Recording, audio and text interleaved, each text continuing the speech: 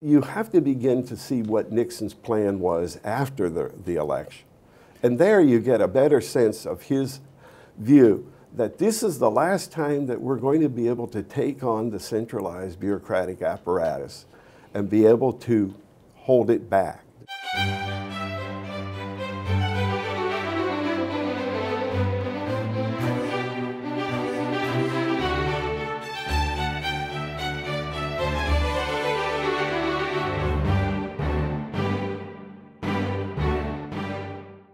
John, if, um, if Richard Nixon were a character in a Western, who would he be?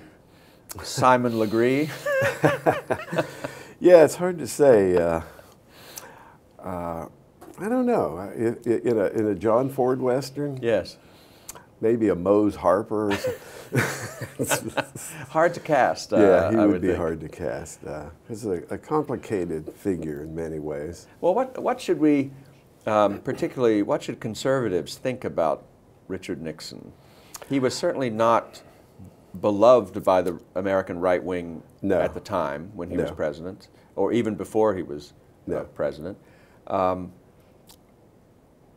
there was a there was a lot of disappointment, obviously, at how his presidency ended. Sure, sure. But what's uh, your your uh, a man who's uh, who studied that period. Mm-hmm. What do you what do you uh, what do you well, make I, of him in retrospect? I think Nixon was at the center of the two greatest controversies in the post World War II period. Nixon comes out of the war, runs as a Republican from uh, California in 1946, in a time when politics is dominated by Roosevelt and the, and the New mm-hmm. Deal. It's a time when uh, socialism, communism, uh, uh, the, the, the, many of the intellectuals in America were very uh, uh, uh, uh, willing and, and very hospitable to socialism. And it was hard to draw a line between socialism and communism.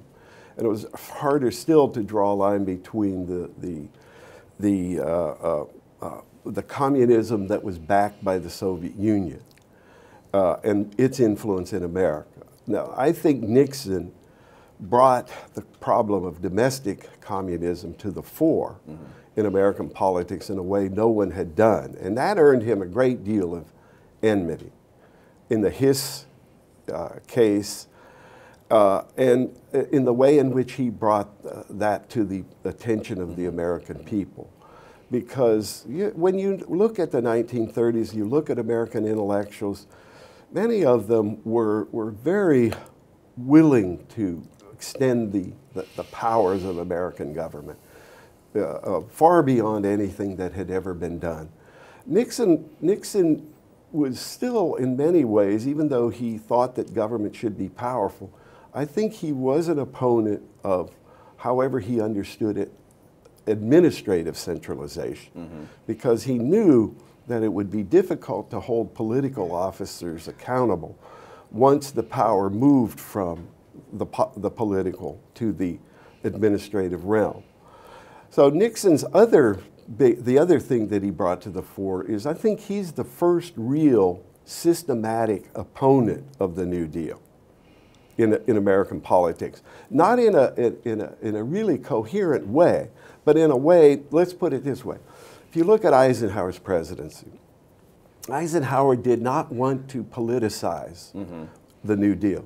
He did not want to politicize what it was that Roosevelt had done or what the Democratic Party had right. done, he even expanded it. I mean, what, what Eisenhower called modern republicanism was really republicanism that had made its peace with the New Deal. Yeah, and in fact, he expanded in a way that even the New Deal didn't when he created the Department of Health, Education, and Welfare. Because right. mm-hmm. you remember, the New Deal was preoccupied still with, with, with national defense, and many of the resources, or most of the resources of the federal government, were still used primarily in terms of defense. Once you start the, po- the, pro- the possibility of creating federal monies for health, education, and welfare, mm-hmm then of course you, you're moving in a direction toward changing the priorities of, of those who, are, who hold offices in America because you have the possibility of subsidizing constituencies.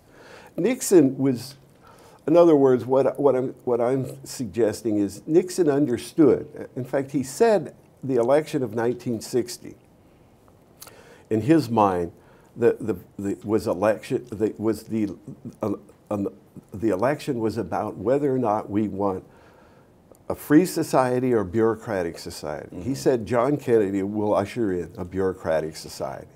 He wanted to retain a free society. Now, that becomes obscured by the time he becomes president in yes. 1968. Well, but it, isn't it obscured in part by Nixon himself? Uh, I mean, he, he is yeah. responsible for a lot of federal bureaucracy in his yeah. I think that the, the, problem with Nixon and, and the, the difficulty of understanding Nixon is Nixon's two terms are like two different presidencies, in my mm -hmm. view. When Nixon won in 1968, the fundamental preoccupation of the, of the country and his mind in the White House was winning the war in Vietnam. Mm -hmm. There was no way in which he could negotiate with large majorities in Congress without accommodating many of the things that they, that they wanted to do and could have done probably even uh, over veto. Mm -hmm. Much of what he did in his first term was to try to uh, uh, uh, fund the war in Vietnam. Now, the key was the 1972 election. Now, even the New York Times in 72 said after, after Nixon's election, it, what Nixon did was extraordinary in American politics. It's as if another party took power because remember what he did? 1972, when he took office, he, he told every member of his administration, including Henry Kissinger, every cabinet officer, you have to turn in your resignations. He said, I'm tired of appointing people to offices and then getting them co-opted by the bureaucracy. Mm -hmm. I want people that are going to do what we have to do. And so his, you have to begin to see what Nixon's plan was after the, the election. And there you get a better sense of his view that this is the last time that we're going to be able to take on the centralized bureaucratic apparatus and be able to hold it back. Well, let's talk about that a little bit because uh, it's true that the, the left feared that side of Nixon, that yeah. plan of his. Uh, they thought this was the beginning of the administrative presidency or the, yeah. uh, you know, the sort of... Uh, the imperial presidency. The imperial yeah, presidency yeah. working its way from foreign policy into domestic, control of domestic policy as well. But what's, what's the evidence that he, he was thinking strategically? He did have this, uh, you know, this, uh, what you just pointed, pointed to, um, a plan to form super departments, oh, combining some of the existing cabinet departments. And the theory, I guess, was that he would be able to control them. The president would be able to control no, them what he wanted to do in creating the, the distinction between departments is, is isolate what you would call the pork departments, mm -hmm. the, those departments that, that were more concerned with, with uh, uh, satisfying constituencies, and those departments that were more concerned with the national interest. Mm -hmm. In other words, he wanted to isolate those people that he was certain would be co-opted by those bureaucracies that that provided so health, service, education, and welfare. Right, any example, of those kinds yeah. of departments. And he also wanted to reorganize the bureaucracy in such a way as to cut the link between the congressional oversight mm -hmm. committees and their links to Congress, assuming, of course, that that Congress would do it which of course they, nobody in Congress would, would do what he wanted to do when he sent the Reorganization Act over. What he thought he could do, he, is could he do it administratively? Mm -hmm. And that's when, of course, he, he got into trouble. But here's what, here's what Theodore White says about the, that problem at the time. Nixon knew that the only way to decentralize power in Washington was to centralize authority in the White House. Mm -hmm. But then he opened himself up to the charge of the imperial presidency. Nixon's ultimate intention, though, was centralized with the view to decentralizing, getting it out of Washington. Mm -hmm. That he failed at. That's what Watergate partly was about. But isn't uh, instituting wage and price controls a strange way well, to yeah, decentralize those, authority those, in Washington? No, no, but, but you have to remember, those are in the heat of an election. Those are, those are temporary measures, I think. Look, Nick, you have to win elections too. I know, but that's a, isn't that a a strange way to win an election? Well, I mean, is this he uh, did win, This though, is not remember? the usual way to win an American election. I think I, it, they thought that worked in the short run. And it certainly did for in 70, by, in 70. Well, there's a certain argument if you're going to have wage and price controls, you should have Republicans running them. I mean, Well, conservatives, no, I- conservative look, economists I who would hate what they're doing, yeah. administering. I think things. Nixon made a lot of errors of, of judgment, prudential judgment. I try to understand him in this context of, Mm-hmm. of what was going on in Washington and how was he perceived, how was he understood. Uh, I think the man who understood Nixon best in terms of what he was doing was Reagan. Mm-hmm. Reagan already understood it in 59. They started correspondence with each other in, in 1959. In Nixon's presidency, when he was president, you can listen to the tapes. Whenever he, all of the important things that he did, whether in Vietnam, he would always call Reagan, he was governor, and he'd, he'd tell him, this is what we're doing in Vietnam. And he said, I'll, I'll let Henry tell you the details of it. Uh, you, you notice Nixon was destroyed politically, and, and just almost anybody that touched him after he resigned. Well, but who met him at the airport when he came to California? Ronald Reagan. Ronald Reagan. So Reagan was the only guy I think who knew what Watergate was about, really. But you can't make a public defense of Nixon anymore. Do we know what Watergate was about? Well, I don't think he did. I don't think did. Nixon did.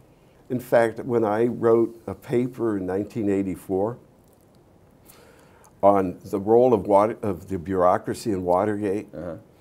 somehow it got into Nixon's hands. And uh, within a couple of weeks, he wrote me a letter and said, uh, you know, I never thought about that, th- that element of the. Of Is that the- right? Of the, and he said, I, you're far away. He said, you, you weren't even here. And, and, and you, you pointed to something really about what was happening. And I, it wasn't really a defense of Nixon. It was just there are institutional players. There are people who have certain things that they want to do. And, and I was trying to take into account the broader, the, uh-huh. more, the, the, the, the forces in American politics, Well, say more about that. So, what, not the personalities. what was your argument? The argument was, of course, that the permanent government, the, bureau- bureauc- the bureaucracy, was well aware that Nixon was a fundamental opponent. Mm-hmm. All of the, the, the, the bureaucracy uh, uh, thought of Nixon as a threat, including the, the intelligence agencies. All of them thought of Nixon as a, as a threat. And so, whenever uh, the bureaucracy is threatened, it defends its interests by going to the media, by leaking to political oppo- opponents. All of Watergate's so called revelations that were supposedly done by, by Woodward and Bernstein as, as through investigating, that wasn't investigative reporting. That was, that was just some, using what somebody gave them. Soaking up the leaks. Right, Yeah. right. And so the, the, what you can see subsequently in, in, in looking at the bureaucracy in relationship to the parties, Republican presidents can never do with the bureaucracy what Democratic presidents can. Democratic presidents are shielded by the, the bureaucracy. Yes. Republican presidents are undermined by the, by the bureaucracy if they perceive them as a threat. So, in the Nixon period, what the bureaucrats feared was not politicization of the bureaucracy. They, uh, I mean, they feared uh, a conservatization, or they feared a, a particular kind of political authority over the bureaucracy. They feared, I think, the, the, the view that you would revitalize various of the problems that had been brought to Washington to be decided by centralized bureaucracies, that you decentralize them and much of the power and decision making, real politics in other words, goes back to the states. Because once you centralized administration in Washington, everything revolved around the center, and the congressmen had to uh, make their reputations not by a defense of, of their, their constituencies within the state. Senators didn't look out for the interests of the state within the state. Right. Everybody thought you deliver the goods from the center. So the bureaucracy was, was acting from uh, organizational maintenance. Yeah, uh, of course. motives. And, They- and everybody. they feared all- loss of power. Right. Yeah. And all of those forces in Washington that benefited from centralization, which includes, by the way, the um, national media, national economic interests, all of them would prefer to have to deal one place. You would say that's true of the national security bureaucracy as well, or Well, primarily the of national domestic security the bureaucracy hated Nixon for other reasons that were related to the Vietnam War. Remember, he was gonna, he was actually going to uh, uh, put one of his admirals on trial for treason. There- Is that right? Yeah, yeah. I don't remember that. And they talked him out of it. Uh-huh. Uh, I, I- don't know that we have full knowledge of what was going on in that period, but a lot of things were going on. So they hated him for, for other reasons as well, the, the, the national security and the CIA bureaucracy. But what you had by the 19, uh, what you had by the Nixon administration is, first of all, the, the, the, the official bureaucracy was often co-opted by by the, the committees in Congress that had had control over those things for a long period of time. Just one example. When Nixon made the opening to China, normally you would think you would do that through the State Department. That's what it's set up for. Nixon did it absolutely without anybody in the State Department, including the Secretary of State, William Rogers, who was not informed about the opening of Ch- to China until about two hours before Nixon went on television. So Kissinger did it all. it was all done through the National Out Security Council pocket, yeah. out of the White House, though. Yeah. So what you see is these presidents had to create their own bureaucracies that were loyal to them to go against the permanent bureaucracies that were in the hands of the of the those people in Congress who had tenure for long periods of time. Right.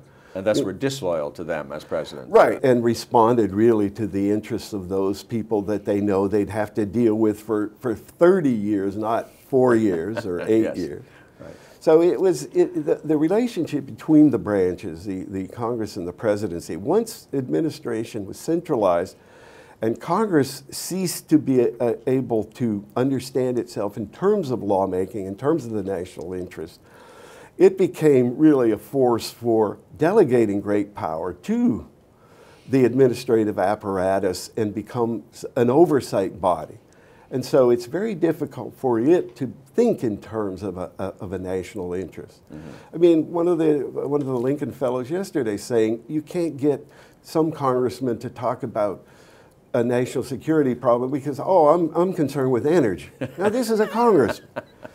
As if he's, uh, uh, so each picks his own policy arena Right. to be able to be a major player. And the problem with the presidency, of course, is there's a lot of major players in minor areas. Right. But you need to have major players in, in, in, the, in, the, in, the, in the representative branch, in the, in the deliberative branch of the government. You need to have coherent policy that's made by the body. And that doesn't happen Congress as a body. as a body. Yes. And you get to the point, you get to the kind of absurdity you see right now. The, the American Congress is held, uh, uh, it, it, its public approval rating is 11%. But look at uh, every person, 90% of incumbents still get reelected. that means that the fate of the body is different than the fate of the individual member. The people don't judge the body, they judge their member. That's right. You like your congressman, you hate Congress. Right, Yeah. right. Yeah. But that's not a good way to keep the, the, the government of the United States accountable. And that's what Nixon, I think, saw. Nixon thought, and he says this, when if it's going to be impossible for the people to be able to, to, uh, to consent to government when they don't have access to the people who have real power. And that is a big problem. How to deal with that problem, of course, is the problem of the administrative state. Right. And popular government turns into unelected Yeah, power right, because as in gov- as- agencies and commissions, bureaus, and right, so forth. Yeah. as Congress has to delegate more power to specialized bodies, they don't have the kind of expert knowledge, the technical knowledge. And they give more, and more and more of the decisions are, are crafted by the people that are in those, uh, those technical fields. And, and so Congress can doesn't even attempt to, to do the actual making of the law, the, the rules or regulations that establish what you can do and what you can't do. It just, it just enables the bureaucracy to do those kinds of things. And so uh, it shields the bureaucracy in a way. And, and, and it makes it impossible for the people to hold the representatives accountable as a body. Right. And you have the situation that we have that, that the American people are, are almost impotent when it comes to getting to the sources of, of, of what constitute real power. And thus controlling their own government. Right. The powers, really, the rules and regulations, the things that pass for laws are not really general laws anymore. Right, right. These are particular laws, and people can get particular favors or privileges through these administrative bodies, but you don't get good general legislation. You don't get the rule of law because a, a law should be a general law and it should apply equally. But these are all ways of, of, of, of enabling unequal treatment.